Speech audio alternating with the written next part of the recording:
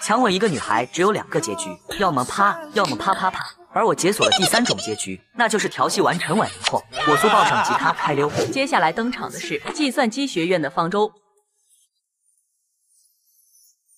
快看快看，老三上场了！一个大男人有什么好看的？方舟竟然还会弹吉他，这是谁的歌？怎么没听过？是他原创的吗？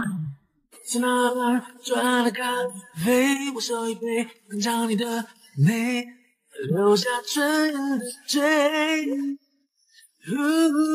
花店玫瑰你自己说谁告白气球风吹到对街微笑在天上飞真的假的？老三唱歌这么好听，上次去 KTV 让他唱歌，他还说不会唱，这叫不会唱。妈耶，我的耳朵好像要怀孕了。学习好，有闯劲，是个好苗子。下学期给他报一个国奖吧。别告诉我这是手原创，我直接好家伙！一瞬间，计算机系的学生们沸腾。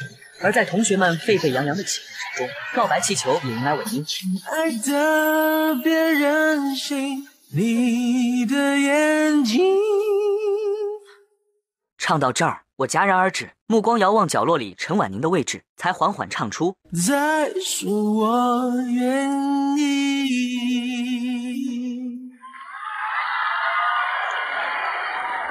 人群爆发出一大阵欢呼，陈婉宁只感觉心脏狠狠跳了下，脸瞬间红透，心里却仿佛吃了蜂蜜一般甜滋滋的。然而，坐在第一排负责主持的苏又雪，此刻脸上却满是不甘。他还能写出这么好听的歌，还当着所有同学老师的面把它送给一个女孩。如果这首歌是唱给我的，那该有多好啊！要是没有那件事，这首歌应该就是留给我的吧。一曲唱罢，在众人的目光中，我拿着木吉他回到原位。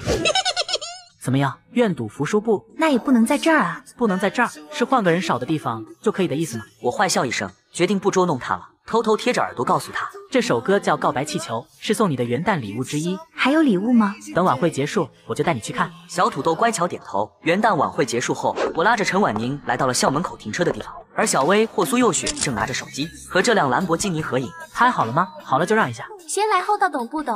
又不是你的车，想拍照排队。你说的对，这确实不是我的车。小薇心中冷哼一声，果然和她想的一样，之前自己真是昏了头。看到这辆兰博基尼时，竟然会想到方舟。然而这时，我忽然从兜里掏出车钥匙，轻轻一按，兰博基尼滴滴响了两声。这确实不是我的车，因为不久之前我已经送人了。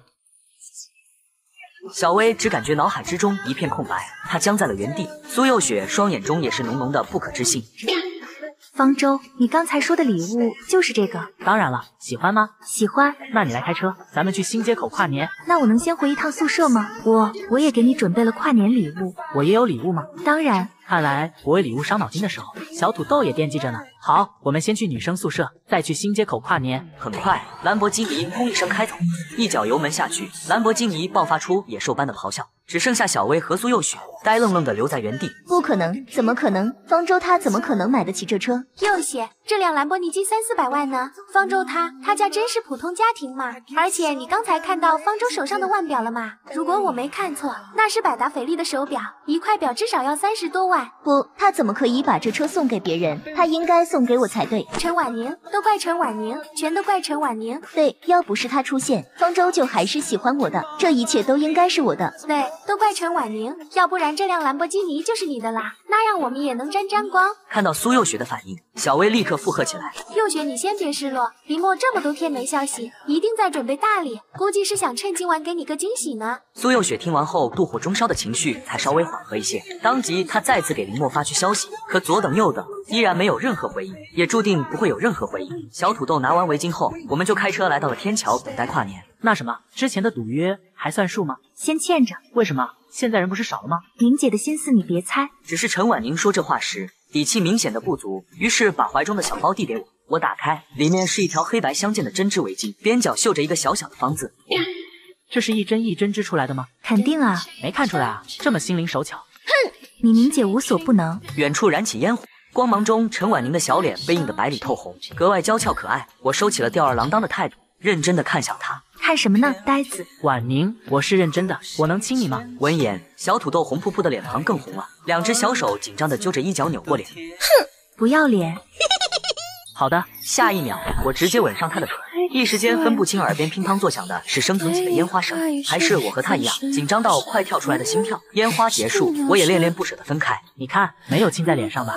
坏人，好甜啊！能再亲一个吗？她脸更红了，软绵绵打了我一拳，就飞快的钻回了车上。那一刻，我觉得即使江上的风景再美，也抵不过少女脸侧为我心动的那抹绯红动人。